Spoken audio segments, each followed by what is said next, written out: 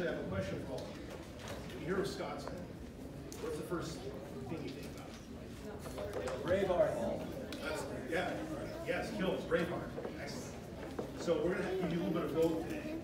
So first, we're going to talk about the kilt as a garment. It's, it's the, it is the national dress of the Scottish people at this point in history. And uh, though originated in the Scottish Highlands, now all Scots, all different families, wear the kilt. My good friend Brad MacDonald Brad. wearing Good friend of mine, also a member of the same clan. We're both wearing a MacDonald plaid. And uh, what he's wearing is a more modern version of the kilt. There's not much difference uh, at first sight between the two of ours. But his is made by Sport Kilt, and it's designed so that people uh, who want to compete in heavy athletics, who's heard of caber? How about uh, the stone toss? Or backhold wrestling? Yeah. So these are some of the uh, ancient national pastimes, and uh, really comparable to the Olympics. They're pretty amazing feats of strength. And uh, Brad uh, participates in all these things. So his kilt was more designed for that. Uh, mine is more of a formal garment. I was married in this last January.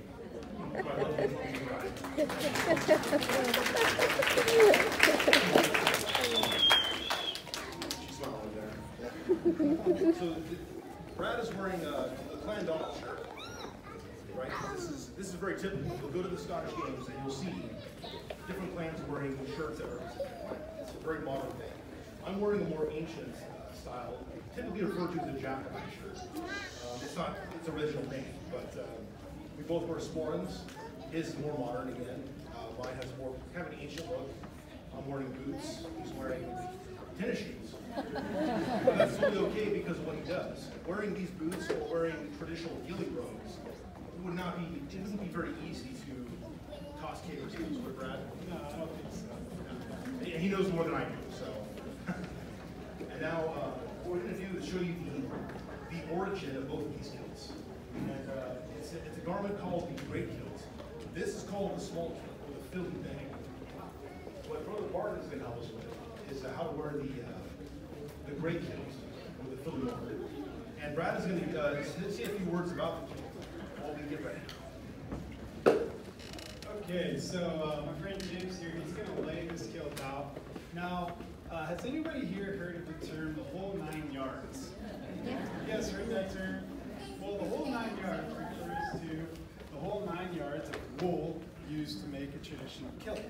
Now, this kilt is only six yards, but that's still considerably large. Um, and the, originally, it was a full nine yards to, to create the kilt. Now, the kilt is made from wool, and it is, uh, generally speaking, um, pretty warm because it's made for Scottish weather.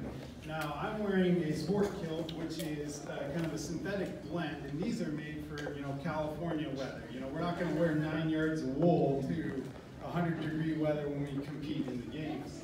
But the, the way um, we put on these kilts is very easy. You just kind of wrap it up like a, like jeans or something. You wear a belt. But traditionally, you had to fold your kilt in order to wear it.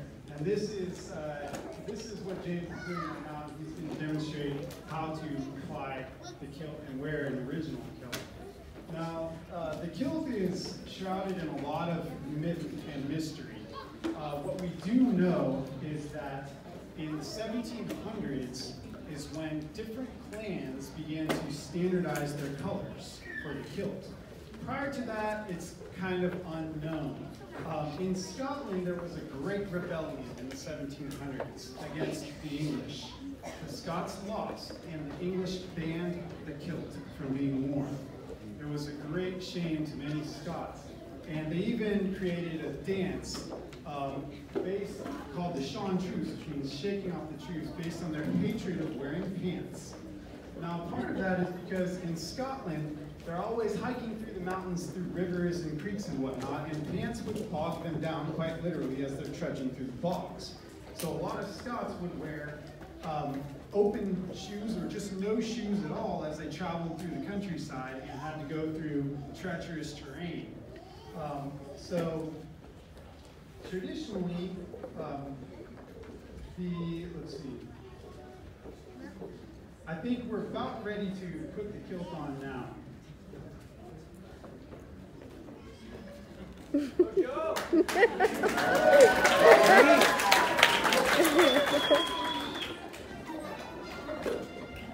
this is kind of an ancient uh, practice that was done on a daily basis by Scots of old. And uh, generally speaking, you would do it yourself. You wouldn't have somebody else do it for you. But because of demonstration purposes, we're going to have James do this for our friend here. Now, if you were a chief, you'd have a particular servant known as a gildemore that would actually that would actually be uh, pleading for you. So for now, Brother Barton is going to be uh, our chief.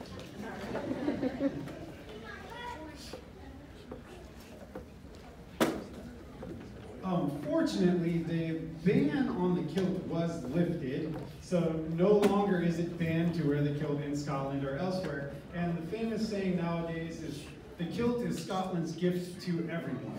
And you do not have to be Scottish to wear a kilt, no matter what anyone thinks. It's for everyone. And there are kilts for different nations, there are kilts for different uh, families that aren't even Scottish nowadays. It's, it's become kind of a global, universal uh, thing to wear, which is great for everyone. All right, looks good.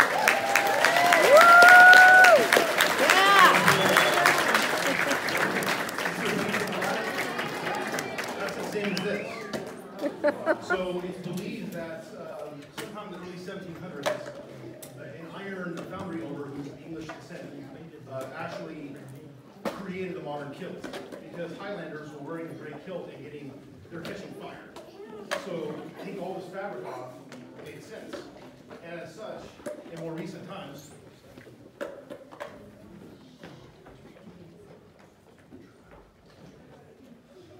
There are many ways of wearing the great kilt. This is one that people who uh, maybe watch the Outlander TV series are familiar with. This is how you flip it over your, your shoulder. This is one way, this is what you might typically see. And the modern uh, sash, or when the women wear it, it's called the, the marche, goes on the shoulder.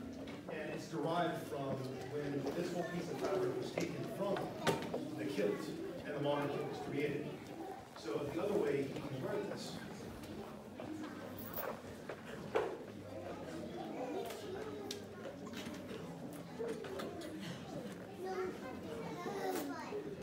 So in this manner, it's being tucked in. It's kind of a casual way to wear it.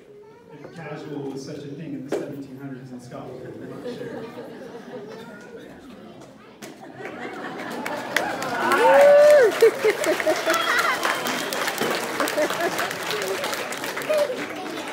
And this has been referred to as the rooster tail. Which means I don't know. Thank you, Brother Martin. All right.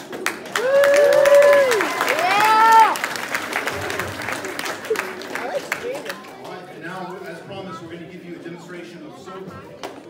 Uh, my good clansman here is going to assist me in that. Uh, we've been training for years together, and also yourself. He's a good friend and an excellent swordsman, in my opinion. And uh, with that, we'll start. Not as good as James. So. They're fighting. Oh.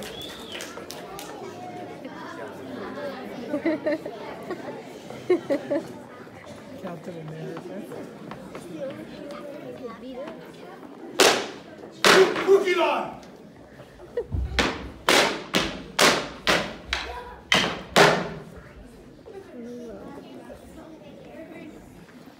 Oh,